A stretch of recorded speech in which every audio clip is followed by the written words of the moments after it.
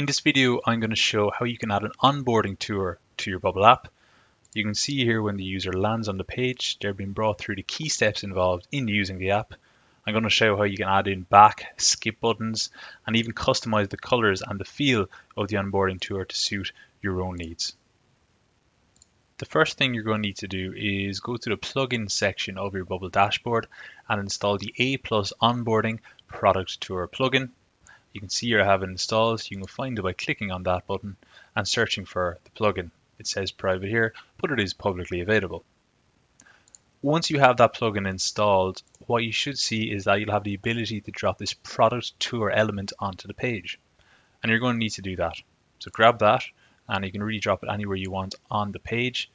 You'll see you get this icon showing up. I'm just going to put down the bottom here. It is important to say that this isn't actually going to show up on the page itself. If I go to preview, what you will see is that that little flag icon there, it doesn't show up on the actual app. The next thing you're going to want to do is go to the settings tab of your bubble editor and under general, you're going to need to scroll right to the bottom and check this advanced option here, the expose the option to add an ID attribute to HTML elements. You want to make sure that that's checked. The reason we want to make sure that's checked is if we go back to our editor and we choose any element, so let's choose the restart tour button, what you'll see now is we have the option to add an ID attribute to this element. And this is going to be what lets the product tour plugin know what steps in the tour to stop off at. We'll come back to that in a second. Uh, what I'm going to do next is I'm going to go to my workflow tab and I'm going to say when the page is loaded, we should have the option now under plugins, or sorry, not under plugins, but under element actions, we should have the option to add step in a product tour. So we're going to select that and you'll see here that we have a number of options. So you can see it's referencing the product tour element we dropped on the page. We're going to call this step title step 1 out of 5. We're going to call the step description for now. We're going to call it something like this is the first step. And then you'll see they're asking for an element ID. And this is what I was talking about a second ago when we were talking about the ID attributes. So what I'm going to do is I'm going to go back to my editor and I'm going to set this uh, restart tour button here. I'm going to give this the ID attribute step one. I'm just going to copy this. Then we're going to go back into our editor and we're going to put in that there. And once we reload the app, what we'll see is nothing's going to happen. And the reason nothing's happening is because once we've added a step to a tour, we also need to add this action here under element actions, start a product tour. So now if we refresh our bubble app, what we'll see is straight away, you can see here we're getting this highlight on the elements that we referenced. Because there's only one step in this tour, it's done straight away. Now let's go back to our editor and start building out a more comprehensive tour. So the first thing I'd like to do is rather than hone in on any specific element, what I'd like to do is just kind of have, you know, a welcome to the product message on the page as a whole. So the way you can do that is if you just leave this element ID field here blank, what it's going to do is it's just going to show a general message. Um, so I'm going to say is welcome to this fantastic SaaS app. We're going to make this a fairly short tour, so let's give this a title step one out of three. And then let's add another step. So we won't start a product tour just yet. We're going to go to element actions, add a step in a product tour, and we'll call this step title two out of three. And we'll have to decide what exactly we want to highlight this is a demo app, but you know, think of it as a pretty simple CRM or employee management app. Uh, and a lot of the good stuff happens in this repeating group area here. So what I'm going to do is I'm going to choose this repeating group element. And I'm going to give this the ID attribute uh, step two. We'll copy that. And then in our workflow, we're going to reference that just there. And for the step description, I'll say this is where a lot of the good stuff happens. Finally, I'm going to reference this add employee button. So assume you want to add one more employee to the table here. We'll just give this the element step three, or the ID attribute, I should say, step three. Element actions, add a step in a product tour. Uh, we'll call that step three. We'll give the title to be step three out of three. You can put in whatever you want here. It doesn't have to be step X out of X or whatever. And we'll say this is how you add employee records. And then one last step, we have to start that product tour. So again, element actions, and let's go to start a product tour.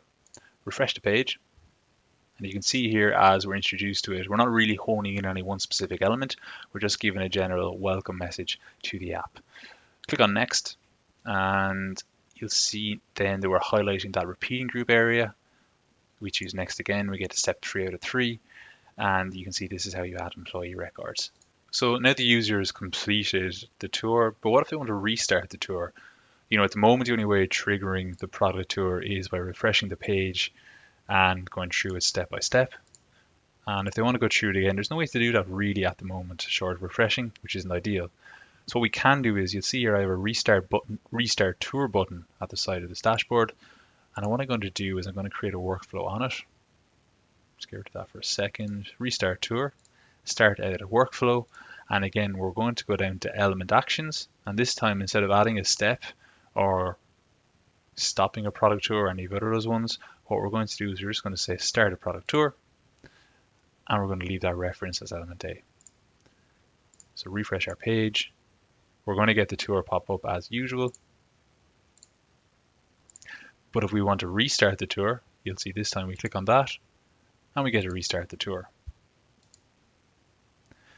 You'll notice at the moment we have this back button, um, we have the next button when there's another step in the tour, but we can't skip the tour, you know, at least not in any nice way. So one thing you can do is, I know there's some customization options on the steps themselves. So for example, you can change around this padding, you can play around with these as you like, but you can also do quite a few customizations using the element.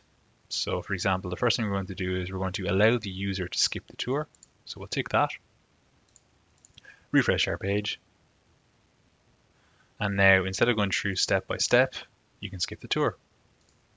If you want to get rid of that back button and they have to go forward step by step, which I probably wouldn't recommend, but the option is there. You'll see again, you can't go back, you can skip the whole tour, or you can just go to the next step. In terms of other customizations options, you can change the primary color. So at the moment we have this bluey color. If we wanted to change that to a red, refresh the page and this time you can see here the color of the top bar and also on this button here is now in red. I'm going to change that back just because red doesn't really fit. And then there's some other customizations you can do as well in terms of changing the button for the skip, the back, and the completion of the tour. So let's just say instead of saying done, let's say we wanted to put in tour complete.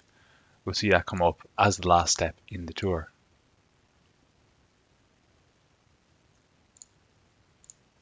and you can see tour complete.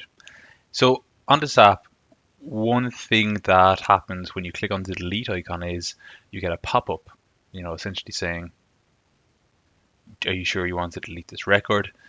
And this can require some kind of custom steps when we're doing the tour. So what we're going to do is, you know, at the moment that isn't showing up in the tour, but let's say we wanted to show that pop-up in the tour. So what we're going to do is we're going to go and choose our pop-up and then we're going to pick uh, the group in the pop-up itself. So what we'll do is we're going to put all these elements here in a group. And then we're going to give this group itself an ID attribute. So we're going to call it pop-up. We'll copy that and then much like we've done before, we're simply going to include this in an, action. So we'll say add a step to a product tour. It's going to be a pop-up and step description is just going to be this is the pop-up. And if we were to leave it like that, uh, let me just quickly put this in. We'll do three out of four. We'll do two out of four. And we'll do four out of four. So let's do a quick preview of that because it won't quite work like you might want it to. So step one, step two, step three, this is the pop-up, but they're not actually showing the pop-up. You know, there's no pop-up there. So what we're going to do is, first of all, I noticed a quick mistake with the first one. It should be one out of four. What we're going to do is we're going to create another event and it's going to be when a product tour goes to a step and then this is only going to be when this product tour current step index is and number three. Why am I saying number three? Well, if we go back to when our page is loaded, first step is the welcome, second is the repeating group, and then third is when we want to show the pop-up. So when it goes to step three, what we want to do is we want to show an element, and the element we want to show is the pop-up. So just show you what happens. Step one out of four, two out of four, three out of four, and we're showing it, and then it's referencing the group in the pop-up. Now, we need to do one more thing, because if you click next, you're on step four out of four, and the pop-up is still there. So what we're going to do to deal with that is we're going to use a very similar approach. We're going to say when product tour goes to a step, and the step in this case is going to be current step index is 4. We're going to hide the pop-up.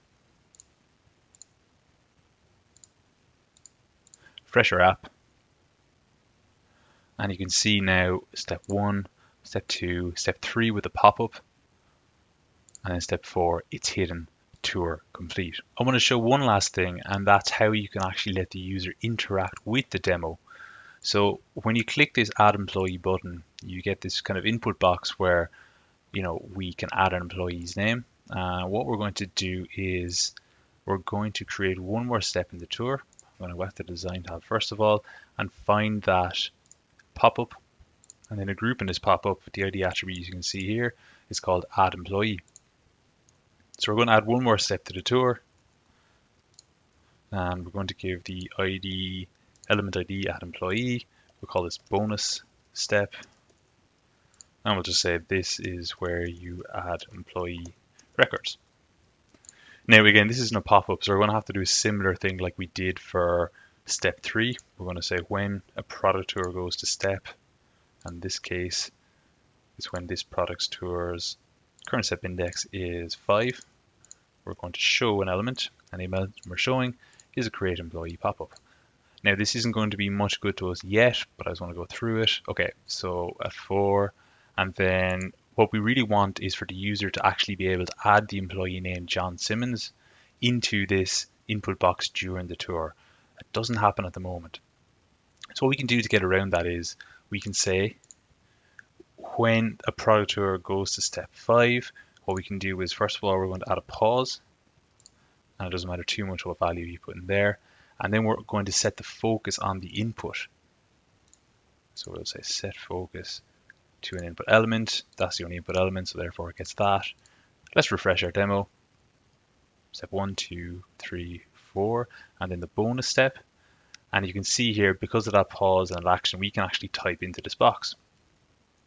So basically what we want next is for the tour to continue once the user has satisfied this request here. So once I've typed John Simmons into the input box, or Simons I should say, then it's going to go on to the next step. So what I'm going to do first of all is we're going to add one more step to the tour. And this is just going to be a kind of tour is over.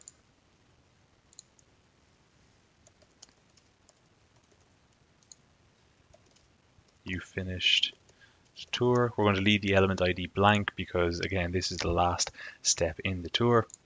So again, refresh and go through this one more time. Two, three, four, bonus step, and you can see we can type in here.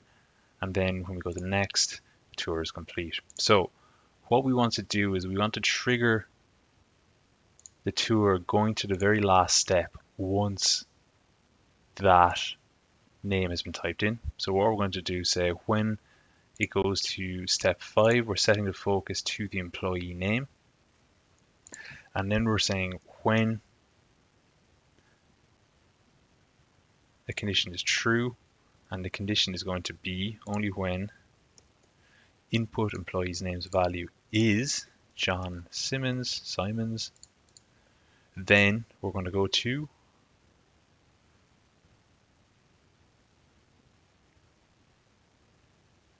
next step in a product tour. So let's try that out. Okay, bonus, you can see the pause there. So let's type in John Simons. And you can see then it goes to the next step. What we should do there is we should really hide the pop-up when it goes to the last step. So just, just do that for completeness sake. So when uh, a product tour goes to a step, and this product tour step index is 6, um, then we're going to want to hide that pop-up.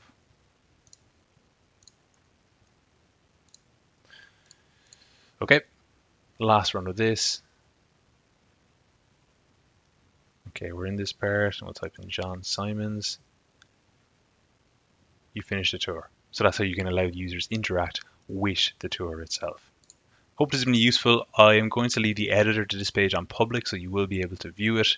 I'll also have a link to the plugin page itself on the dashboard there. So check either of those out if you'd like or feel free to ask me any questions in the comment section below.